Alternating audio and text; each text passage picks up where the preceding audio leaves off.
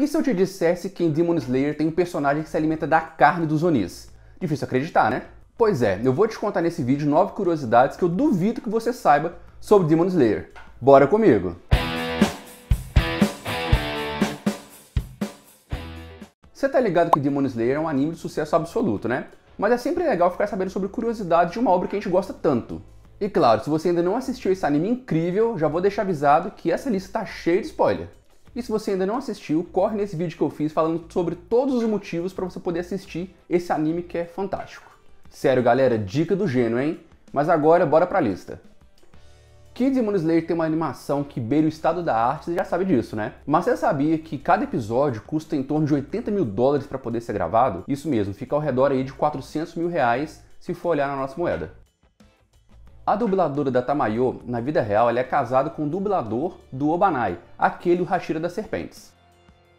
O Zenitsu criou a sétima forma da respiração do trovão.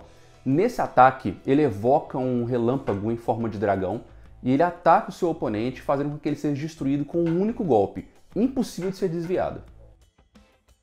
O aniversário da Kanao ele é comemorado no dia 19 de maio, que é a data de quando a Shinobi e a sua irmã mais velha salvaram ela da escravidão e a levaram para a mansão da borboleta. O Muzan, nossa estrela do mal, já teve um total de cinco esposas. Como você sabe que ele é zero empatia e tem um desprezo profundo por humanos, ele abusou tanto psicologicamente das suas ex-mulheres que todas elas acabaram tirando a própria vida. O Jigoro, antigo Hashira do Trovão e mestre do Zenitsu, ele se aposentou muito cedo, aos 35 anos. Durante uma batalha, ele perdeu parte da sua perna direita e achou melhor abandonar o cargo e se tornar um treinador de caçadores de Oni. Lembra do Genya? Aquele cara meio estressado lá do início do anime que levou um chega pra lá do Tanjiro durante o exame? Pois é, ele é o personagem que eu te falei que consome carne de Onis. Inclusive, ele pode até aumentar as próprias habilidades fazendo isso. Sabe o Kagaya, o líder do esquadrão de caçadores de Oni? Pois é, ele se tornou líder aos 4 anos de idade. Eu acho que talvez ele possa ser primo do Itachi, né? O filme de Demon Slayer, O Trem Infinito, ele foi um dos maiores sucessos japoneses.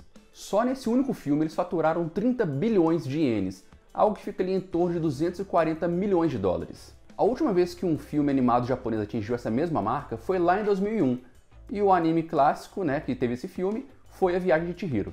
Mas e aí, Gênio, sabia alguma dessas curiosidades? E comenta aqui embaixo quem é seu personagem favorito da saga. E claro, se você curtiu esse vídeo, pense em se inscrever. Você vai receber toda semana três vídeos fresquinhos. Te vejo no próximo vídeo. E até lá, concentração total.